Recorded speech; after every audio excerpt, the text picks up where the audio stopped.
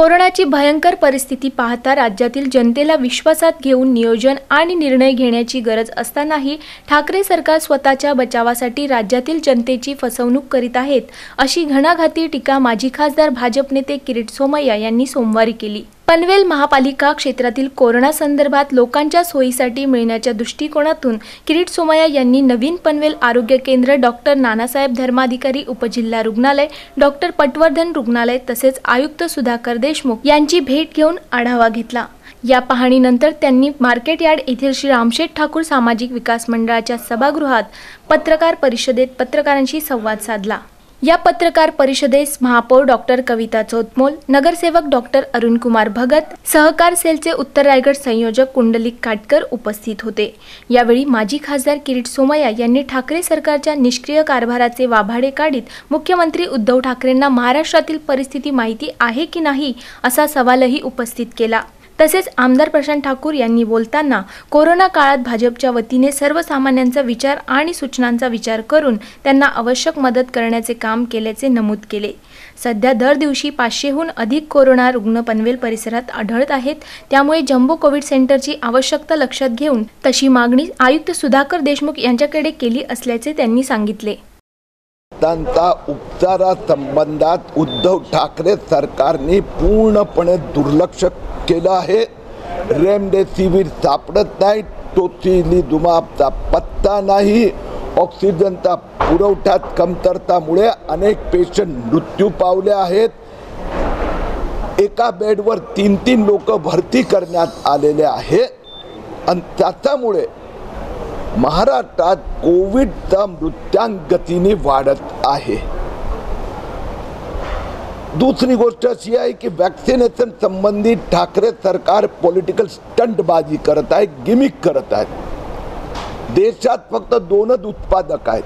त्यांचं उत्पादन किती हे शरद पवार साहेब आणि उद्धव ठाकरेजी दोघांना माहीत आहे. आतापर्यंत देशात दहा कोटी लसीकरण झालं त्यातनं एक कोटी व्हॅक्सिनेशन महाराष्ट्रात झालं. पुढच्या एक महिन्यात आणखीन एक कोटी वॅक्सिन महाराष्ट्रात येणार आहे. याचा कसा उपयोग करावा ते ठाकरे सरकारने ठरवावं लागणार. आजची खरी समस्या आहे कोविडग्रस्तांची सहायता. सेकंड पॉईंट सचिन वाझे वसुली घोटाळा आता दोन हजार कोटीचा पेक्षा जास्तचा झालेला आहे. अनिल देशमुख त्यात अडकल्या. अनिल परबचा तेवढाच मोठा यात सहभाग आहे. याचे सगळे पुरावे घेऊन मी आज संध्याकाळी पाच वाजता महाराष्ट्राचा राज्यपालांची भेट घेणार आहेत आणि उद्या दिल्ली येथे सी बी आयच्या अधिकाऱ्यांना अनिल परब यांचे आर टी ओ ट्रान्सफर घोटाळे मुंबई महापालिकेचा कॉन्ट्रॅक्टरचा सेटिंग सचिन वादेचा लेटर बॉम्बमधला पन्नास कोटीचा वाद या संबंधी मी भेटणार आहे. कर्नाळा बँकेचा भ्रष्टाचारी घोटाळेबाज संचालकांना वाचवण्याचं काम उद्धव ठाकरे सरकार करीत आहे. एवढी आम्ही धडपड केली होती. या संचालकांना चेअरमॅनला अटक करायची होती. पण गेले पंधरा महिने पोलीस एक पाऊल पुढे नाही गेलं. पंधरा मार्चला प्रशांत ठाकूर आणि मी महाराष्ट्राचे सी आय डी महासंचालकांची भेट घेतली.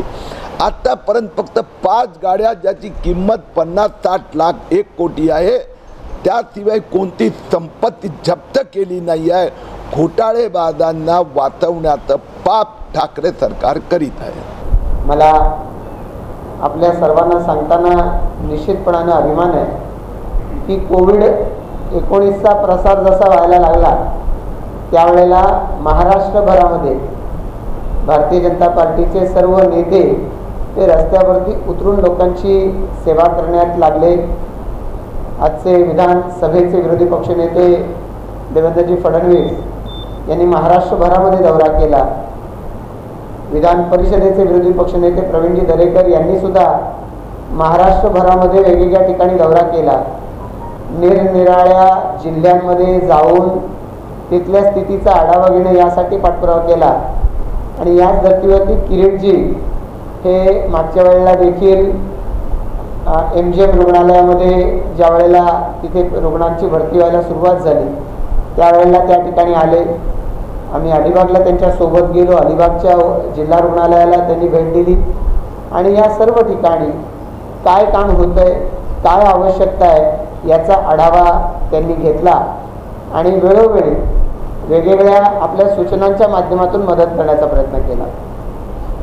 आपल्या इंडिया बुल्स या ठिकाणी जिथे कोविड केअर सेंटर आहे तिथेही त्यांनी मागच्या वेळेला भेट दिली होती. त्याच धर्तीवरती आज पुन्हा ते आपल्या इथे पनवेलमध्ये आले. आज सुरुवातीला नवीन पनवेल येथल्या आपली जी यू पी एच सी आहे अर्बन हेल्थ सेंटर तर त्या ठिकाणी त्यांनी कोविड वॅक्सिनेशन सेंटर आहे तिथे भेट दिली. त्याच्यानंतर त्यांनी आपल्या उपजिल्हा रुग्णालय आहे त्या रुग्णालयातली पाहणी केली डॉक्टरांशी चर्चा केली. आणि त्याच्यानंतर आयुक्तांच्या बरोबर चर्चा करून आता ते आपल्या सर्वांमध्ये या ठिकाणी आलेले आहेत. मी पुन्हा एकदा सन्माननीय किरीटजींचं या ठिकाणी स्वागत करतो.